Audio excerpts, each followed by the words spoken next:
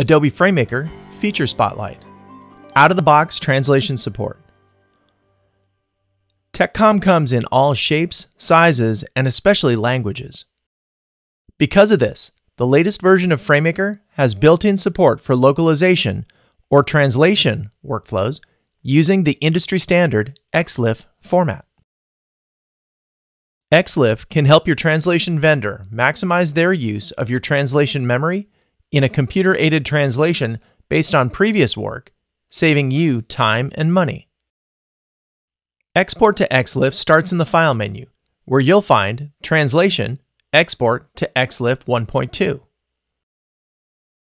In the XLIFF Export Settings dialog, you have options to fine tune your output to meet the requirements of your localization service.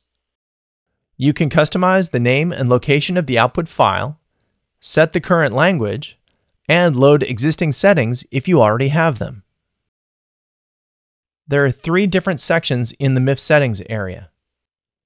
Here you have the option to include or omit a series of things that can impact the size and thus the cost of the final translation project. Structured files in general can be less expensive to translate due to the predictable nature of the content model itself. If you're working with structured files, here you have some structure specific options that you can set as needed. And then, down in this area, are a few options to filter items that might not make sense after translation. There are quite a few options here, so if you'll be doing translations regularly, you'll want to save these settings where you can easily reload them next time. I haven't made any changes, so I'll go ahead and start the process by clicking on Export.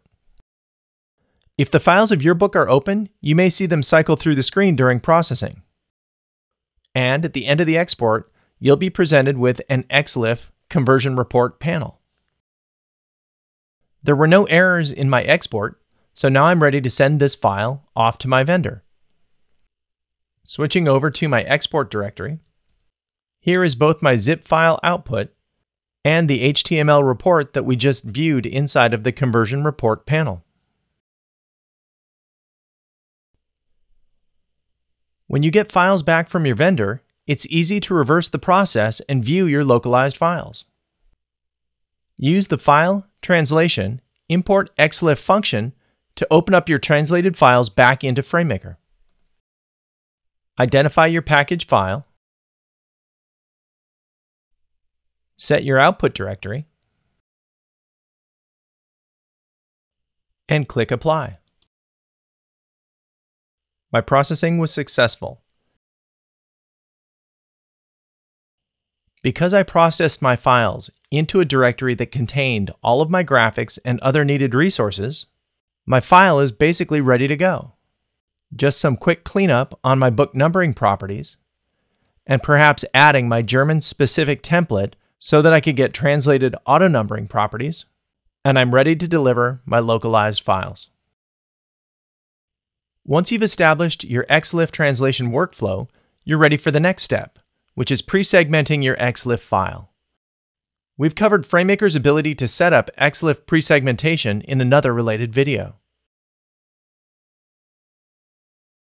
For a personalized demo or questions, please write to us at techcom at adobe.com.